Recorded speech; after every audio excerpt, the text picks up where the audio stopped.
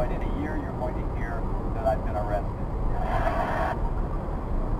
I think I'm fine.